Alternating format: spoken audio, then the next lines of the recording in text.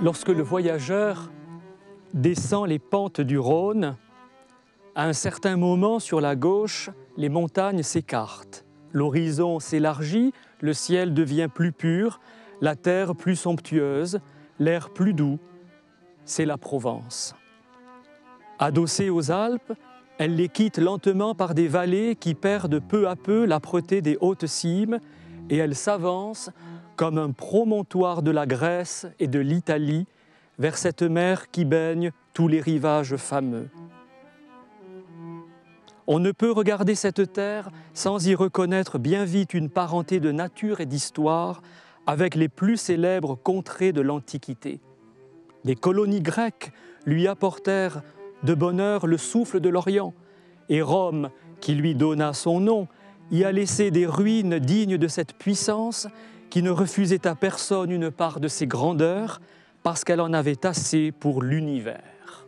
C'est avec ces premiers mots de l'Aude à la Provence de Henri-Dominique Lacordaire que je vous invite à traverser cette forêt de la Sainte-Baume, une forêt millénaire, une forêt primaire, une forêt relique qui nous conduira jusqu'à la grotte de Sainte-Marie-Madeleine,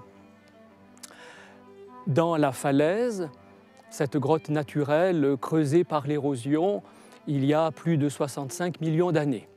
Cet endroit tout à fait exceptionnel attire aujourd'hui beaucoup de randonneurs, beaucoup de pèlerins aussi, qui euh, mettent leurs pas dans les pas de ces premiers moines, euh, dans les pas des rois de France qui sont venus en pèlerinage ici, des foules anonymes et de beaucoup de saints qui ont gravi ces, sentiers. Alors nous allons découvrir progressivement, car il ne faut pas tout dévoiler d'un coup, le but, l'objet de ce pèlerinage, d'abord en nous enfonçant dans, dans cette forêt. Je lirai quelques passages de ce petit livre de Lacordaire, Marie-Madeleine.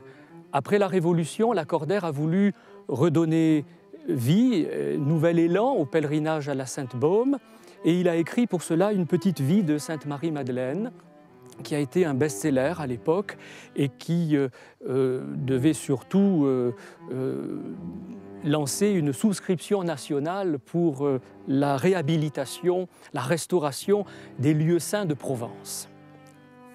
Quand on sort de Marseille, en se dirigeant vers les Alpes, on entre dans une vallée qui longe la mer sans la voir, parce que de hautes montagnes lui en cachent les flots. Une autre chaîne se dresse à l'opposé de celle-là et contenue entre ces deux murailles, la vallée court vers un amphithéâtre abrupt qui semble lui fermer le chemin pendant qu'une rivière bordée d'arbres glisse sans effort dans de longues prairies et arrose de sa fécondité mille habitations. Au centre de ces roches hautes et alignées, qui ressemblent à un rideau de pierre, l'œil découvre une habitation qui y est comme suspendue et à ses pieds une forêt dont la nouveauté le saisit. Ce n'est plus le pain maigre et odorant de la Provence, ni le chêne vert, ni rien des ombrages que le voyageur a rencontrés sur sa route. On dirait que par un prodige inexplicable, le Nord a jeté là toute la magnificence de sa végétation. C'est le sol et le ciel du Midi avec les futaies de l'Angleterre.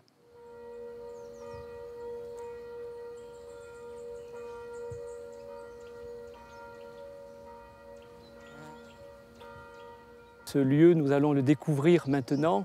C'est le lieu où, selon la tradition de Provence, a vécu le premier témoin de la résurrection du Christ, Marie-Madeleine, et où les hommes depuis viennent chercher la paix de Dieu tout en admirant la création.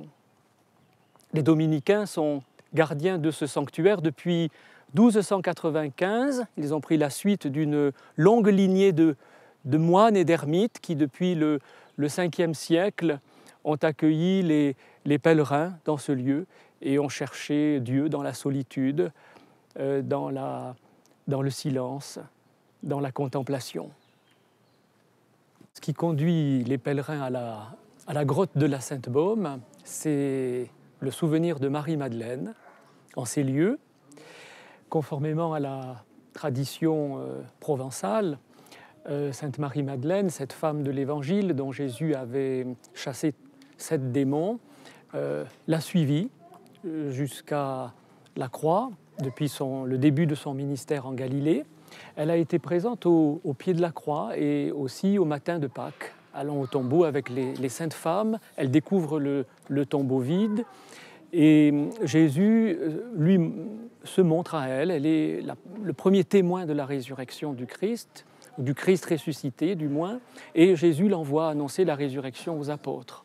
La tradition de Provence raconte qu'après la résurrection, un petit groupe de disciples de Jésus, fuyant les persécutions, euh, trouvent refuge euh, sur les côtes de Provence.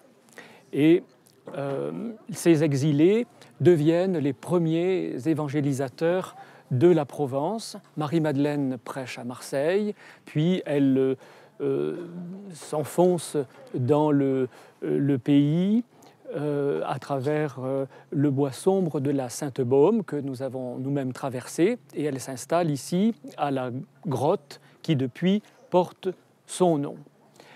La tradition rapporte aussi que euh, sept fois par jour, elle était transportée par les anges jusqu'au sommet du Saint-Pilon, où est construite aujourd'hui une petite chapelle qui rappelle cette, tradition. L'aménagement actuel remonte à la fin du XIXe siècle. Après la Révolution, on a reconstruit euh, les bâtiments détruits pendant la Révolution, on a réaménagé euh, le sanctuaire dévasté. Euh, quelques pièces,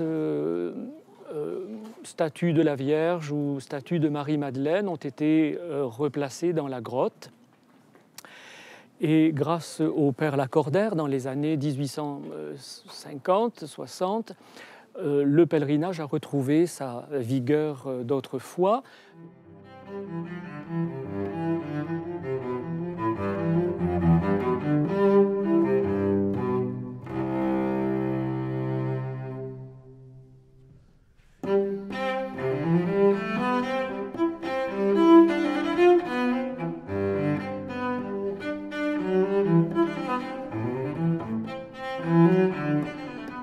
Nous sommes arrivés au Saint-Pilon, euh, chapelle euh, édifiée euh, sur l'emplacement d'un pilier qui primitivement commémorait les, élévations mystiques de Sainte Marie-Madeleine transportées par les anges depuis la grotte jusque sur cette crête.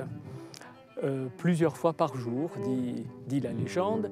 Nous sommes euh, euh, au sommet de, cette crête avec une vue sur un autre versant de la Sainte-Baume, son versant sud qui descend doucement vers la mer. Ici s'achève ce pèlerinage à la grotte de la Sainte-Baume, sur les pas de Marie-Madeleine, sur les pas de de l'accordaire aussi. J'écris de cette femme, louée dans tout l'univers par l'Évangile, elle n'a pas besoin d'une plume mortelle pour raviver sa gloire.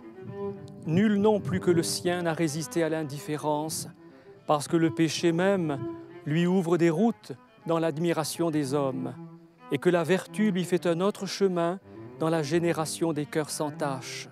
Marie-Madeleine touche aux deux côtés de notre vie. La pécheresse nous oint de ses larmes, la sainte nous oint de sa tendresse.